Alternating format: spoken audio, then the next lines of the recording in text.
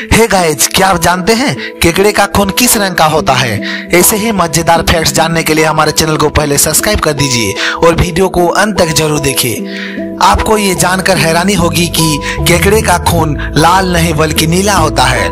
45 करोड़ सालों से धरती पर मौजूद है केकड़ा। ये बिल्कुल घोड़े की नाल की तरह दिखाई देता है। इसलिए इसका नाम हर्सुक्रेव रखा गया। रिपोर्ट्स के मुताबिक, केकड़े की ये प्रजाति करीब 45 करोड़, यानी 450 मिलियन ईयर्स सालों से पृथ्वी पर है।